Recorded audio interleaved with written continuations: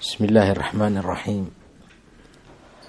الحمد لله رب العالمين والعاقبة للمتقين ولا عدوان إلا على الظالمين وأصلي وأسلم على نبينا محمد وعلى آله وأصحابه ومن اهتدى بهديه إلى يوم الدين أما بعد faqad qaala allahu tacaala fi muxkami tanziilihi wahwa asdaqu lqaa'iliin faqad qaala allahu tacaala fii muxkami tanziilihi wahwa asdaqu lqaa'iliin huma amaatahu fa aqbarah haddii ilaah idmo subxaana wa tacaala saddex qodob oo kookooban ayaa wax ka tilmaami doonaa kow muhiimadda uu leeyahay qabriga talabaad oo ah cabsida.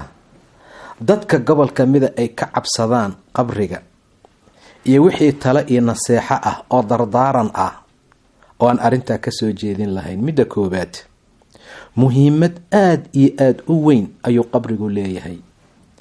Sharaf ayuu u yahay bani aadamka oo dhan muslimkiisii gaalkiisaba.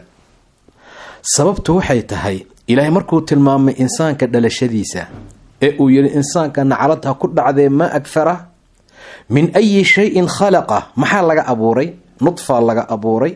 Ilaahay kare subxaana wa tacaala thumma asabiila yasara. Jidkii uu soo mari lahaa ayaa loo fududeeyey. Insaanka markuu dhalanayo maxalkuu ka soo baxo? Iyo asaga isma laha. Mar labaad ku laaba haddii la dhowmo ku noqon karo. Ilahay baa fududayay subxaana wa tacaala. Kadib buu ilaah yidhi thumma amaatahu ninkii saa loo khalqoo loo nooleeyey wuu dhimanayaa. Fa aqbarah waa la qabriyeynaa qabri baa la gelinayaa buu dhahay ilaah subxaana wa tacaala. Sharafta qabriga uu noo leeyahay khaasan muslimiintu waa maxay? Labadii wiilee aadam uu dhalay markay isdileen waa ninkii ugu horeeye la dila? Ma yaqaana si la yeelo madaxuu u saaran yahay meydki saasuu u wadwadaa muxuu ku samaynaa hadduusan qabri jiri lahayn dhibkaasaan mari lahayn ilan muhiimad aada iyo aada u weyn buu u leeyahay bani aadamka. Waa tii ilaahay uu yidhi ilaahay wuxuu u soo diray khuraab tuke. Yabxathu fil ardi dhulka qodaya. Muxuu qodayaa? Shalayba asaga iyo walaalkii intay isdagaaleen uu dilay. Liyuriyahu kayfa yuwaari sawata akhii si wiilkaa madaxa meydka ku wata uu u tusiyo si uu aasi lahaa walaalkii meydkiisa. Saw-a lagu magacaabaa meydka. Waa wax xun haddii qabri jiri lahayn qashin qubka laysku tuuri lahaa meyd baa banaanka daadsanaan lahaa. Ilaahay aayad kale wuxuu ku tilmaamay subxaana wa tacaala alam najcal ilarda kifaatan? Dhulka miyaanan kifaad idinkaga dhigin. Amwaatan axyaaan wa amwaat nolol iyo geeriba. Ka nool arlada korkeedu ku nool yahay. Ka dhintay arlada hoosteedu ku jiraa hal meel layslama wada joogi karo?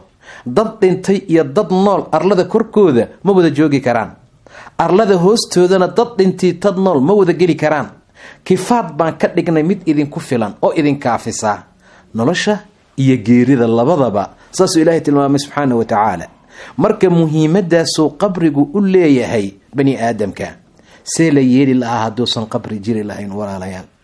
Maxaasas la samayn lahaa? Rida qashinqubkaa lagu tuuraa meydkeeda. Bisada waa la tuuraa laakiin bani aadamka sharaf iyo qiimo ilaahay uu u yeelay darteed yaa qabri loo sameeyey. Yaa ilaahay noogu talagalay subxaana wa tacaala in nala ku karaameeyo oo nala ku sharfo. Qofku markuu dhinto waad aragtay waa loo qubeeyaa waa loo labisaa gabdhaha timaha loo hagaajiyaa waa la kaxeeyaa waa la catariyaa waa la carfiyaa waa la udgiyaa janaasa lagu tukadaa qabrigaa la geeyaa. Waa meeshana loogugu talagelay guriga xaqiiqda ee dhabta ah ee markaa aakhire lagu sugo. Ilaa muxuu tilmaamay asagoo qabriga noo sheegaya xaaladiisa iyo qiimihiisa. Xataa idaa jaa axadahum lmowt qaala rabbi irjicuun lacallii acmalu saalixan fiima tarakt. Kaafirka markuu saa u cabaado ayaa la yidhi kalla inahaa kalimatun huwa qaa'iluhaa. Waa hadaloo iska dhahay halay celiyo. Camal fiican baan qabsanayaa. Wa min waraa'ihim barzaq. Barzaq baa lagu magacaabaa qabrigu waa barzaq waa teed. Wuxuu kala teedayaa adduunkii iyo aakhiradii qofku markuu adduunku faaruquu ka tago meeshuu ku hakanayo oo waxoogaa lagu ciqaabayo ama loogu naciiminayo ayaa ah qabriga. Sidaa darteed baa layidhaahdaa qabrigu waa mataqaanaa walqabru sunduuqu lcamal waa camalka sanduuqiisa qof alla alla qofka dhintaa alla ugu talagalay in qabriga saa loo geeyo idan muhiimadaasuu leeyahay sharaftaasna wuu leeyahay. Ta xigta qabriga cabsishada laga cabsado wuu mudan yahay in laga cabsado marka hore. Cuthmaan ibnu cafaan mar kastoo qabri la sheego oohin ma kala joojin jirin cabsi daraaddeed. Muxuu ka baqayaa in la geliya ma aha. Wuxuu ka baqayaa ciqaabka rafaadka dhibaatada waxyaabaha yaalla. Qabriga marka laga sheekeeyo cuthmaan ma aamusi jirin mar allaala marka jaxiimii jahanamo laga hadlaayo cuthmaan ma oyn jirin. Waa la weydiiyey. Sababta kugu kaliftay cuthmaanow inaad oyso qabri waa maxay? Wuxuu yidhi waa booska ugu horreeya iyo mansilka ugu horreeya ee qofka uu degayo war allaala marka qabri la dhigo haddii uu u wanaagsanaado loo waasiciyo loo iftiimiyo inta ka dambaysa way u fududahay. Haddiise qabriga lagu ciriiriyo oo lagu dhibo oo rafaadkiisii dhibkiisa la marsiiyo inta ka dambaysa ayaa ka sii culus. Idan cuthmaan wuu oon jiray. Rasuulka sala allahu caleyh wasalam maalin janaase la aasay intuu ka qayb galay. Markii la duugay ayuu qabriga fadhiistay saxaabada gaararkiisay fadhiisteen hoosay madaxa u foorariyeen waxaad u malaysaa madaxyaalkooda inay shimbir saaran tahay. Isdhaqaajin ma jiro. Ulbaa koorad ah. Uu haysto dhulkasaa ugu xarxariiqayay. Markaasuu yidhi walaalkiin dembi dhaaf u weydiiya. Haddaa la su'aalayaa. Inuu ilaahay su'aasha ku sugana u weydiiya. Haddaa su'aalo la weydiinayaa. Saa darteed buu rasuulku yidhi qof ma jiro. Idinka idinka mid ah. Ilaa ilaahay maqcad ayuu ugu talagalay. Qabriga ayuu aada uga sheekeeyey iyo sida xaalkiisu markaa yahay. Qabriga in laga baqo waxaa keenaya oo sabab u noqon kara waxay tahay waxaa dareemaynaa mar walba oo salaad la tukado. Rasuulku wuxuu dhihi jiray afar waxyaabood ilaahay ka magangala.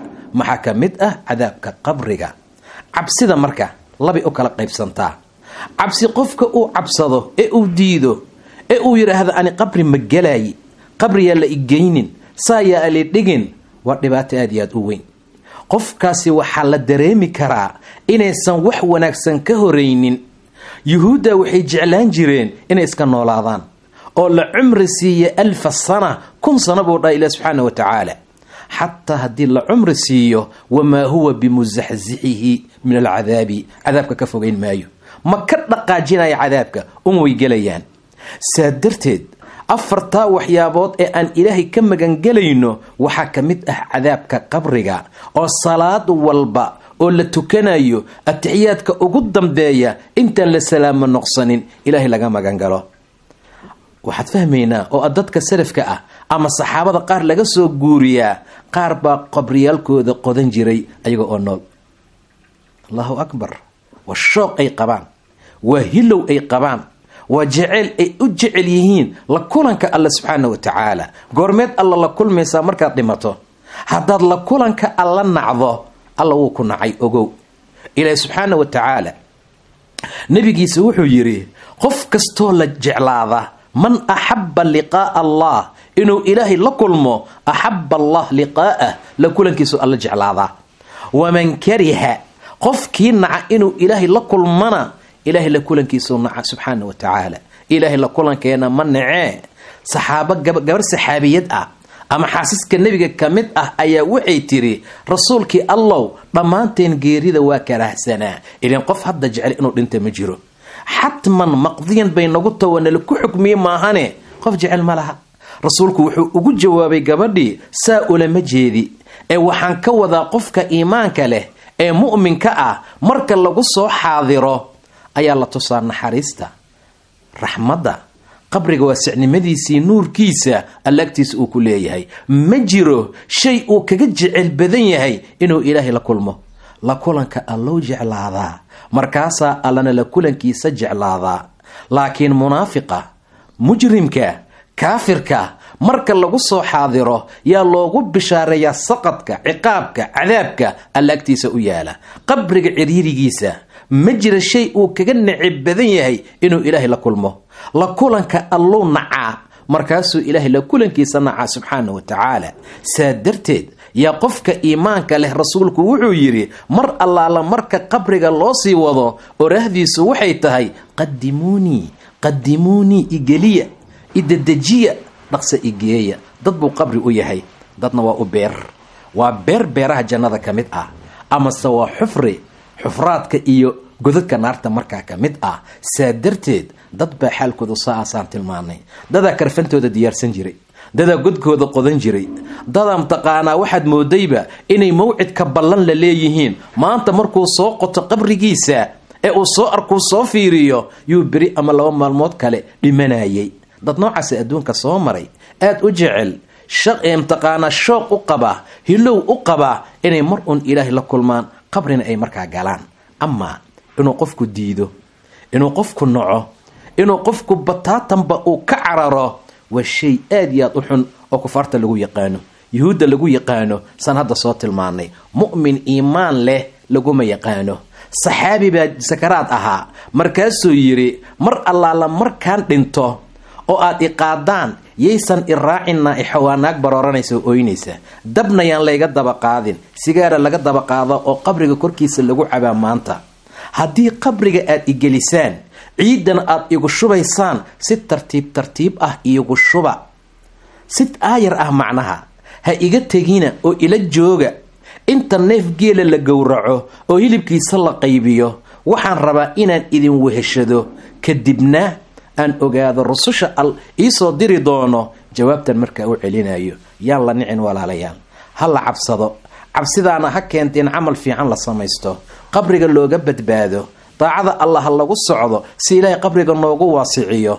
Diinta aan ku socono macaasida aan ka tagno khayrkii wanaagga aan ku dadaalno ilaahay in badan aan ka barino inuu qabriga noo sahlo waayo damuu leeyahay. Sacad ibnu mucaad baa ka badbaadi lahaa dhibka qabriga jira haddii axad ka badbaadayo saa darteed naxariis allah lagu koraa diinta allah lagu badbaadaa towbadoo lagu socdaa ilaahay qofka ku najeeyaa dadka qubuuraha ka cabsada.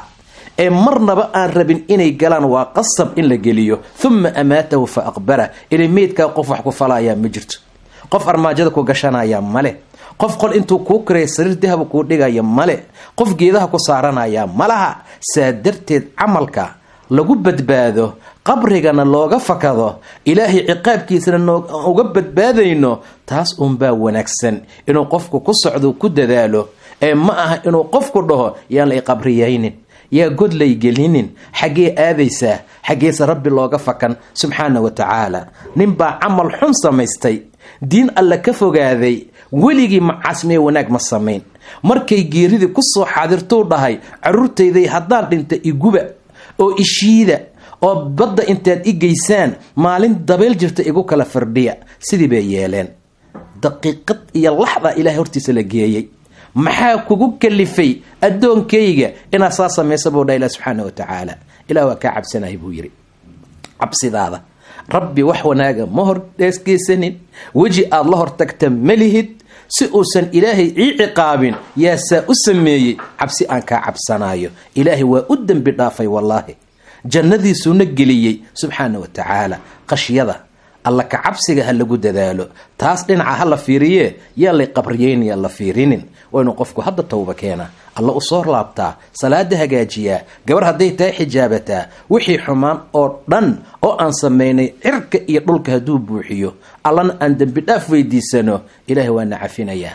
Arlada muggeed iyo arla iyo samaawaadka inta u dhaxaysa muggood oo dembi dhaaf ah ayuuna ilaahayna siinaa subxaana wa tacaala. Ilaah xaqa xaqa hana waafajiyo daacadii diintan allah nagu sugo qabrigan allah noo waasiciyo allah noo iftiimiyo ilaahay ha nooga dhiga beer beeraha jannada ka mid ah ilaahay noogama dhigo xufri iyo god godadka naarta ka mid ah. Wabilaahi towfiiq wallahu aclam